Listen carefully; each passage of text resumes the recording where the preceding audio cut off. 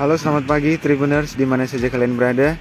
Saat ini saya sedang berada di dermaga ikan di Kelurahan Tanjung, Kecamatan Ende Selatan, Kabupaten Ende, Flores, Nusa Tenggara Timur. Uh, Tepatnya saya berada di uh, persis di area dermaga um, di mana Anda melihat sendiri dalam tayangan live stream ini Kondisi dermaga ini sangat memprihatinkan. Nah ini ada lubang besar di atas dermaga ini tentu uh, para pengunjung atau siapa pun yang datang ke sini perlu hati-hati. Jangan sampai terprosok masuk ke dalam uh, laut melalui lubang besar ini.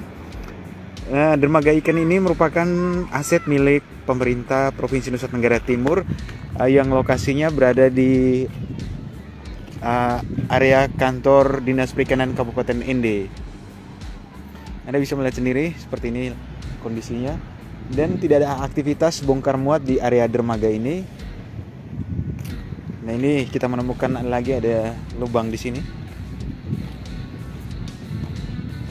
Ya, memang di sekitar uh, dermaga ini di laut ada beberapa perahu cukup banyak ya yang uh, berlabuh.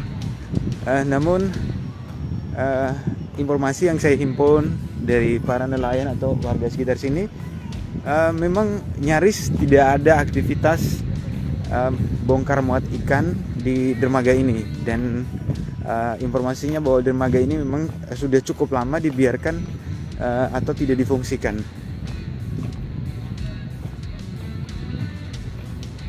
Ya sayang sekali padahal area dermaga ini uh, cukup luas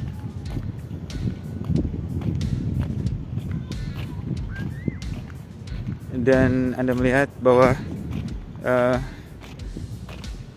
bangunan dermaga ini sudah nampak uh, pelan-pelan ambruk dan uh, besi-besinya di tiang-tiang sudah pada keluar semua.